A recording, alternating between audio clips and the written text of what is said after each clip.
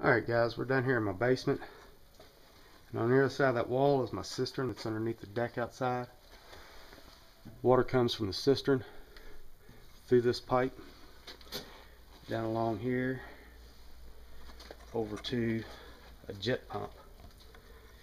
I got a three quarter horsepower jet pump runs off 110 and uh, now to keep the water when you turn the faucet on to keep the water uh, the pump from running constantly to pump the water throughout the house the jet pump pumps the water down through here and into this blue pressurized bladder tank.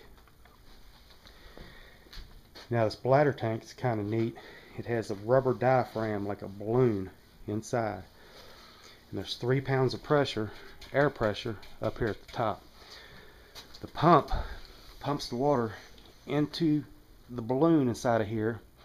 That balloon stretches fills the water up to about here. And then when it does that this pressure becomes about oh 90 about 50 pounds, 50 to 90 pounds. Well when the pump's running it pumps it up to 90 pounds. And then uh, when you use the water the pressure up here in the top pushes the water out into this pipe right there. Up through here got several cutoff valves and then it distributes throughout the throughout the house so that the pump only runs to fill that tank up and then the pressure in the tank takes over. I think it holds nine nine gallons, nine or ten gallons.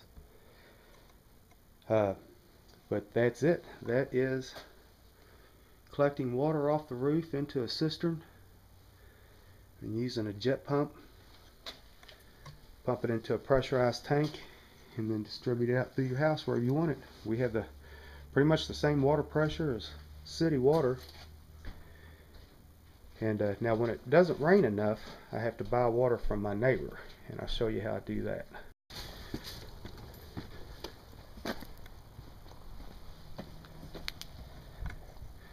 To buy water from my neighbor, I've got 300 feet of garden hose that I stretch from my house across the street up her driveway and there's a pine tree right there. And uh, about 20 feet past that pine tree she's got a water spigot so she can water her grapevines and things out here in her front yard. But take the garden hoses hook them together turn her water on follow the hose on up the drive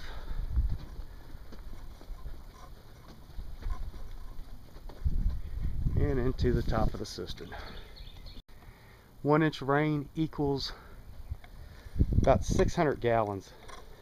I think a thousand square feet of roof would uh, equal 660 gallons, I think, for one inch of rain.